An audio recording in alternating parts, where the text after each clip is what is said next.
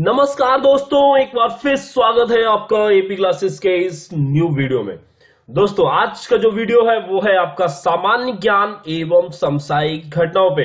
दोस्तों, आज का वीडियो शुरू करने से पहले आप लोगों से रिक्वेस्ट करना चाहूँगा कि जिन लोगों ने अभी तक सब्सक्राइब नहीं किया है हमारे चैनल को, वो लोग प्लीज़ सब्सक्राइब कर लें। और हाँ दोस्तों, साथ ही बेल आइकन को दबाना ना भूलें, क्योंकि अगर आपने बेल आइकन को नहीं दबाया तो आपको नहीं मिलेगा नोटिफिकेशन तो अगर आपको नोटिफिकेशन चाहिए दोस्तों तो बेल आइकन को अवश्य दबाएँ। तो चलिए स्टार्ट करते हैं ये वीडियो इसके पहले प्रश्न से। दोस्तों, इस वीडियो में मैं प्रश्न पढ़ूँगा और उसके बाद आपको कुछ समय दूँगा। ऑप्शंस जो आप लोग देखें और फिर ऑप्शंस बताएँ, मैं कुछ समय बाद उसका आंसर बताऊँगा। तो चलिए देखते हैं पहला प्रश्न कि भारतीय वायुसेना ने किस राज्य के तूतिंग में अपने एडवांस्ड लैंडिंग ग्राउंड का परिचालन शुरू कर दिया है? चार ऑप्शंस आपको आपकी स्क्रीन पर दिख रहे हैं, जिनमें से आपको उत्तर बताना है। तो कुछ समय देता हूँ दोस्तों। इसका जो सही उत्तर है, इस प्रश्न का कि भारतीय वायुसेना ने जिस राज्य के तूतिंग में अपने एडवांस लैंडिंग ग्राउंड का परिचालन शुरू किया है, वो है आपका अरुणाचल प्रदेश। अगला प्रश्न। निम्नलिखित में से किस राज्य ने 17 ओबीसी जातियों को अनुसूचित जातियों की श्रेणी में शामिल किया है? निम्नलिखित में से किस राज्य ने 17 ओबीसी जातियों को अनुसूचित जातियों की श्रेणी में शामिल किया है? ऑप्शंस आपकी स्क्रीन पर है दोस्तों। चूज़ कीजिए इसमें से सही उत्तर। इस प्रश्न का जो सही उत्तर है, वो है आपका उत्तर प्रदेश। अगला प्रश्न।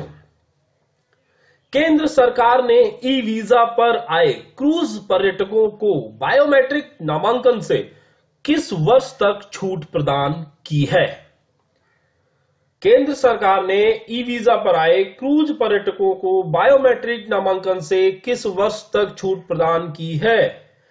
इस प्रश्न का जो सही उत्तर है, वो है आपका क्या? 2020 अगला प्रश्न। केंद्र सरकार ने नियंत्रण रेखा के पास कितने हज़ार बंकरों के निर्माण को मंजूरी दी है? केंद्र सरकार ने नियंत्रण रेखा के पास कितने हज़ार बंकरों के निर्माण को मंजूरी दी है? इसका जो सही उत्तर है, वो है आपका चौदह हज़ार। अगला प्रश्न। भारत के किस राज्य में विश्व के सबसे बड़े अस्पताल को बनाए जाने की मंजूरी प्रदान की गई है? भारत के किस राज्य में विश्व के सबसे बड़े अस्पताल को बनाए जाने की मंजूरी प्रदान की है? ऑप्शंस है दोस्तों, सही उत्तर का चयन करना है आपको और इस प्रश्न का जो सही उत्तर है, देखते हैं कितने लोगों का सही हुआ है और इस प्रश्न का सही उत्तर है वो है आपका बिहार। अगला प्रश्न। किस राज्य में बिना अनुमति के लाउड स्पीकर बजाने पर प्रतिबंध लगा दिया गया है? ये तो दोस्तों सभी को पता ही होगा और सभी ने समाचार पत्रों के माध्यम से भी चुना हो, सुना होगा कि कहाँ पर लाउड स्पीकर बजाने पर प्रतिबंध लगा दिया गया बिना अनुमति के। तो क्या है इसका सही उत्तर? सही उत्तर ऑप्शंस में से सही उत्तर है आपका उत्तर प्रदेश। अगला प्रश्न। केंद्र सरकार ने नियंत्रण रेखा के पास कितने हज़ार बंकरों के निर्माण को मंजूरी दी है? ये प्रश्न दोस्तों रिपीट हो गया है और इसके लिए माफ़ी चाहेंगे और इसका सही उत्तर हम बता ही चुके हैं आपको। चौदह हज़ार। अगला प्रश्न।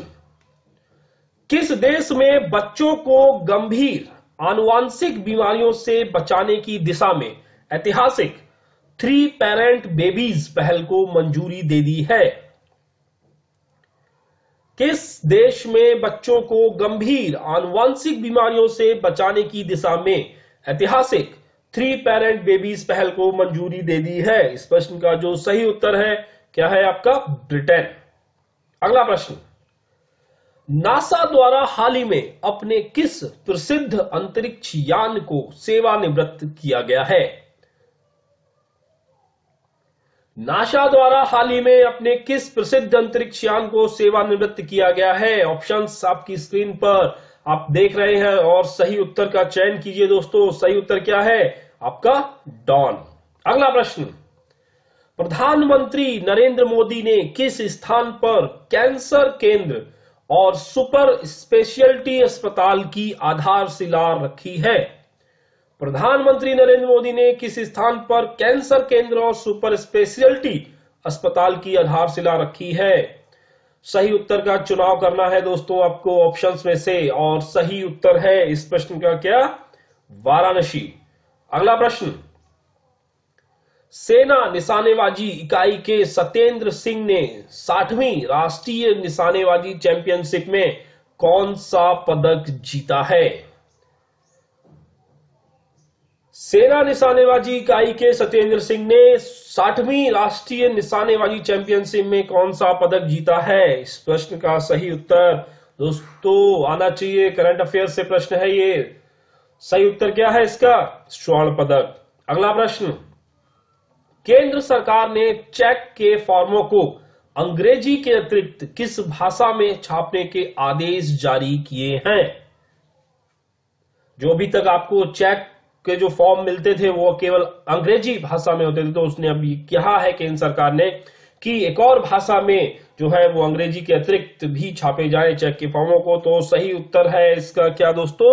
आपका ऑप्शंस में से है हिंदी। अगला प्रश्न। किस राज्य सरकार ने भीमा कोरेगांव हिंसा की न्यायिक जाँच का आदेश दिया है? किस राज्य सरकार ने भीमा कोरेगांव हिंसा की न्यायिक जाँच का आदेश दिया है? ऑप्शंस में से आपको बताना है, काफ़ी चर्चित हिंसा थी ये और ये काफ़ी अभी हाल ही में समाचार पत्रों में काफ़ी सुर्खियों में रही और न्यूज़पेपर में भी रही न्यूज़ में भी रही और इसमें भीमा कोरेगांव हिंसा की न्यायिक जाँच का आदेश जिस राज्य ने दिया है, उसका सही उत्तर है महाराष्ट्र। अगला प्रश्न। उत्तर कोरिया और किस देश के बीच 9 जनवरी 2018 को दो से अधिक सालों के बाद पहली बार औपचारिक बातचीत हुई है? उत्तर कोरिया काफ़ी फ़ेमस देश है ये, उत्तर कोरिया हमेशा सुर्खियों में रहता है। और तो उत्तर कोरिया और किस देश के बीच 9 जनवरी 2018 को दो से अधिक सालों के बाद पहली बार औपचारिक बातचीत हुई है? सही उत्तर क्या है? आपका सही उत्तर है आपका दक्षिण कोरिया। अगला प्रश्न। केंद्र सरकार ने मेक इन इंडिया के तहत किस देश की कंपनी कंगनम के साथ बत्तीस हज़ार छह सौ चालीस करोड़ रुपए का माइन काउंटर मेजर बैसल सुरक्षा सौदा रद्द कर दिया है? मेक इन इंडिया के तहत कौन सा सौदा रद्द हुआ है? कंपनी कंगनम के साथ किस देश की जो कंपनी है वो आपको बताना है। और सौदा था बत्तीस हज़ार छह सौ चालीस करोड़ रुपए का। और ये सौदा था माइन काउंटर मेजर बैसल सुरक्षा सौदा। सही उत्तर क्या है? दक्षिण कोरिया। अगला प्रश्न। हाल ही में किस राज्य में सिग्नेचर ब्रिज का उद्घाटन किया गया है? दोस्तों, इसका ऑप्शन तो सभी को ही पता होगा और आंसर गलत नहीं होना चाहिए। जो लोग भी न्यूज़पेपर पढ़ते हैं और समाचार पत्र अगर देखते हैं और न्यूज़ चैनल्स को थोड़ा भी अगर देखते हैं तो उनको ज़रूर पता होगा कि किस राज्य में है सिग्नेचर ब्रिज और सभी का ये उत्तर सही होना चाहिए और सही उत्तर है आपका दिल्ली। अगला प्रश्न। विश्व नगर दिवस विश्व भर में किस दिन मनाया जाता है? विश्व नगर दिवस विश्व भर में किस दिन मनाया जाता है? सही उत्तर क्या है आपका? इकतीस अक्टूबर। अगला प्रश्न।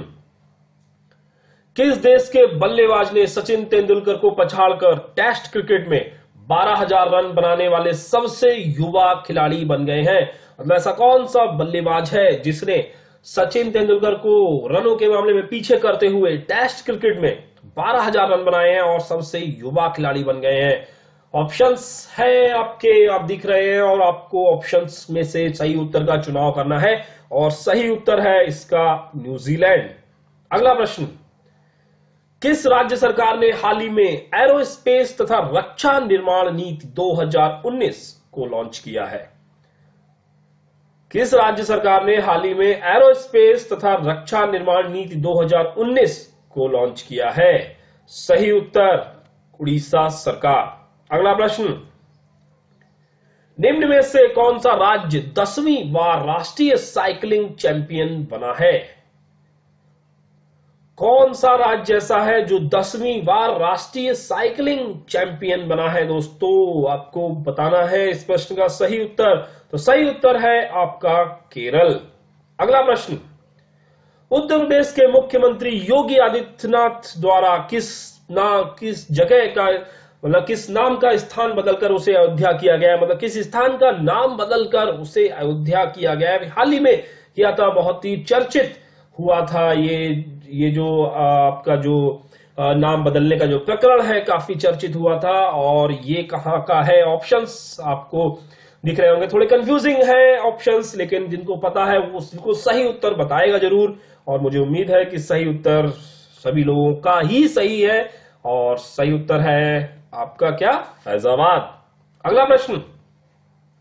हाल ही में किस देश ने विश्व का पहला ब्लू बॉन्ड जारी किया है? किस देश ने विश्व का पहला ब्लू बॉन्ड जारी किया है? सही उत्तर आपका क्या है? सेसेल्स अगला प्रश्न। भारतीय रेल ने किस राज्य में 100 साल पुराना पुल महज सात घंटे में तैयार कर दिया था? अभी हाल ही में भारतीय रेल ने यह करिश्मा किया था कि 100 साल पुराना पुल महज सात घंटे में तैयार कर दिया था। ऑप्शंस में से चुनाव करना है, सही उत्तर का। और सही उत्तर है आपका क्या? उत्तर प्रदेश। अगला प्रश्न। किस समस्या से निपटने के लिए केंद्र सरकार ने इंटीग्रेटेड वॉइस रिस्पॉन्स सिस्टम मतलब आईवीआरएस सिस्टम लॉन्च किया है? अगर कोई आईवीआरएस की आपसे फुल फॉर्म पूछे तो आप बता सकते हैं।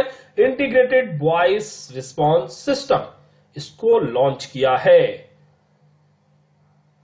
तो केंद्र सरकार ने जो आईवीआरएस प्रणाली है इंटीग्रेटेड वॉइस रिस्पॉन्स सिस्टम जो लॉन्च किया है, वो किस समस्या के लिए किया है, उसका आंसर है कॉल ड्रॉप की समस्या।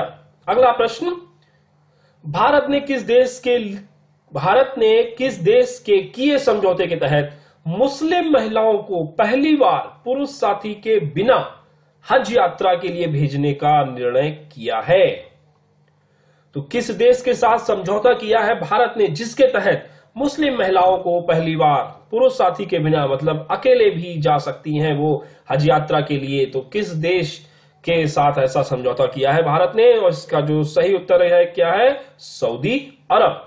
तो दोस्तों, ये था आज का वीडियो। उम्मीद करता हूँ ये वीडियो आपको पसंद है दोस्तों, कमेंट करके बताइए ज़रूर कि आपका स्कोर क्या है। तो दोस्तों, इस वीडियो के लिए इतना ही। फिर मिलते हैं नेक्स्ट वीडियो में। तब तक के लिए बहुत बहुत धन्यवाद।